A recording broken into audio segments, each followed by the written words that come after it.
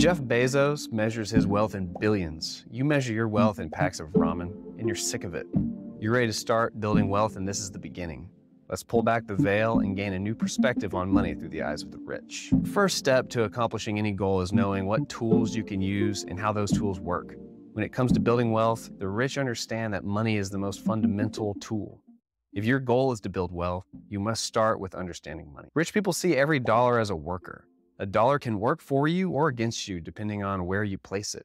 To keep things simple, we will divide dollars spent into four categories necessities versus luxuries, and assets versus liabilities. The necessities versus luxuries category is pretty straightforward. It's easy to tell the difference, but the hard part is discipline. In the beginning, you are your only asset, and the dollars you spend on food, shelter, transportation, and communication will absolutely make you more productive.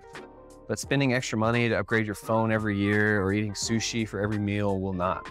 Many poor and middle class individuals get caught in a cycle known as the rat race. This is where you spend all of your extra money on luxuries and liabilities, which we'll talk about shortly.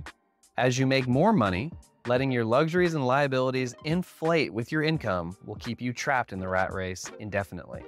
According to Robert Kiyosaki, author of Rich Dad Poor Dad, the middle class and the poor revolve around a pattern the pattern of getting up, going to work, paying bills. This cycle repeats over and over again, and this is what he refers to as the rat race.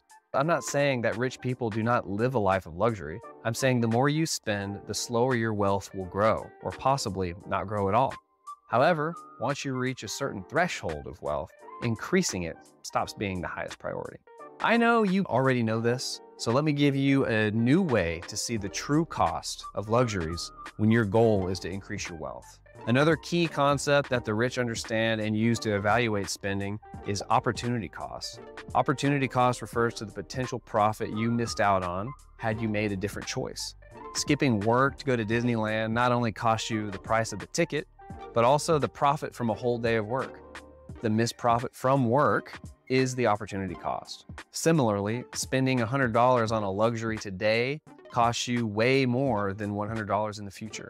For instance, investing $100 in the stock market for 30 years would likely return more than $1,500. Personally, I have a way easier time staying disciplined with my spending when I weigh the enjoyment of $100 today against $1,500 in the future. Let me know in the comments if you can think of another good way to motivate yourself to keep your spending in line. Assets versus liabilities category is where things get a little more interesting.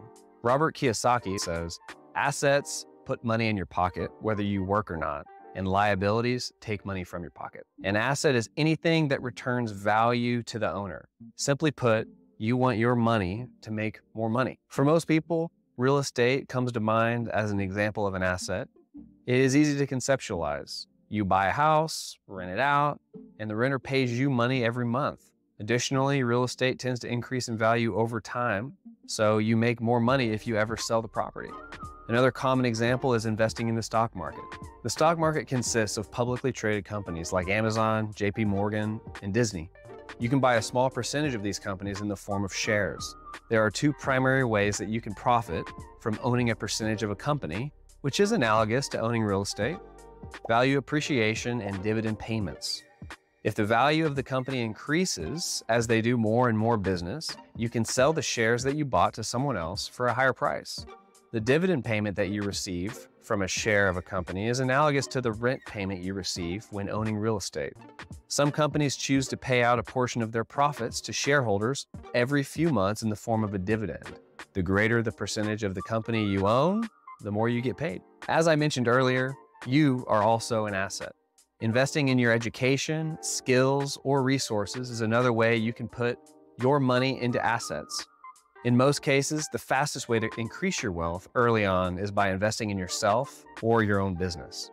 There's a lot of room for creativity here, and there's really no end to the list of potential assets you could go after. The rich look for every opportunity to use their money to acquire assets. In this way, every dollar is like a worker that is creating value. Liabilities, however, act in the opposite way. Dollars spent on liabilities continue to drain money from the buyer long after the initial purchase. For instance, Buying a boat purely for enjoyment, sadly, is a liability. After dropping a lump sum for the down payment, you will spend money every month to pay off the remaining balance with interest. That interest payment is essentially a negative return on your boat investment. You will spend money every month on gas when you use it. You'll spend money on dock fees or storage. You'll spend money to winterize it every year. You'll spend on regular maintenance. And finally, when you are ready to sell to someone else, it will have lost value due to depreciation. But wait, there's more. After you add up all the extra costs over the lifetime of the boat, you still have to consider the opportunity cost on top of that. Not only did you lose money on the boat, but you also lost out on the potential return from acquiring an asset in its stead. Similarly, there are countless creative ways you can spend your money on liabilities. The line between assets and liabilities is not always clean and consistent. At first glance, you might consider a car to be a liability, it has many similarities to the boat, recurring payments, interest, gas, maintenance, insurance, inspections, etc. However, the big difference is that your car might enable you to go to work and make money. Now the car jumps from the liability category to the necessity category. But if you then upgrade that car to a Lambo where your car payment starts to dwarf your income, it jumps back to the liability column. But then if you start a business where you're renting out your Lambo to high profile individuals, it jumps once again into the asset category. As you can see, there's a lot of room for creativity. You can often find ways to transform your liabilities into assets. Another example where the line between asset and liability can be murky is a personal story of mine. My wife and I bought a house that we wanted to fix up. In this case, it wasn't the money that created an opportunity cost as much as the time. We spent months renovating the kitchen, master bedroom, master bathroom, guest bath, and landscaping in the backyard.